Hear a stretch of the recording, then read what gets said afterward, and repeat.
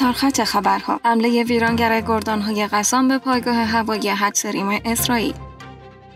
ارتش دریایی زمینی و هوایی آمریکا در راه رسمین به اسرائیل. جنگ وارد مرحله جدید شد. افشای شواهد شوکه کننده دخالت ایران در حمله حماس به اسرائیل توسط ارتش اسرائیل.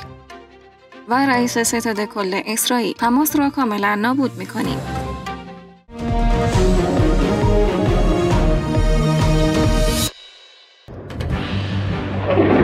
مشروع اخبار. حمله ویرانگر گردانهای قسام به پایگاه هوایی حتریم اسرائیل. گردانهای قسام در واکنش به جنایت ارتش رژیم صهیونیستی در حق مردم فلسطین پایگاه هوایی حتریم را موشکباران کرد. علاوه بر این گردانهای قدس هم اعلام کرد که محل تجمع نظامیان ارتش رژیم صهیونیستی در موضع نظامی ایزر را موشکباران کردند. عصر امروز نیز گردانهای قسام یگان 107 ارتش رژیم صهیونیستی را در پایگاه حتریم و فرماندهی لشکر سینا در پایگاه تسلیم را با استفاده از دو پهپاد هدف قرار داد. های قسام در واکنش به کشتار فلسطینیان شهرک صهیونیستی صدیرات را نیز موشکباران کرد. های قدس نیز بیان کردند که تجمع نظامیان ارتش رژیم صهیونیستی در موضع سوفا با خمپاره سنگین هدف قرار داده است. همچنین های قدس اعلام کرد که تجمع نظامیان صهیونیست را در واکنش به جنایت اشغالگران در حق فلسطینیان موشکباران کرده است. علاوه بر این بر نیز در واکنش به جنایت صهیونیستها از سوی های قدس موشکباران شد.